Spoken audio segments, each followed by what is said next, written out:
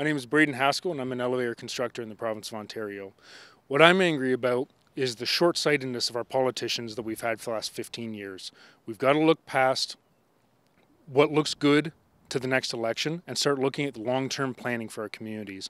Transit does not get improved over four years, schools don't get rebuilt, hospitals don't get reorganized over four years. We've got to start looking at long term practical planning instead of big ticket items or slash and burn plans that only get us through and look good on paper for a couple years at a time, and then we're left with the next party to clean up the mess of everything we've lost.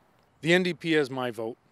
What I think people need to do is look beyond snappy one liners and look at what party truly has a vision to get us ahead 5, 10, 15 years from now.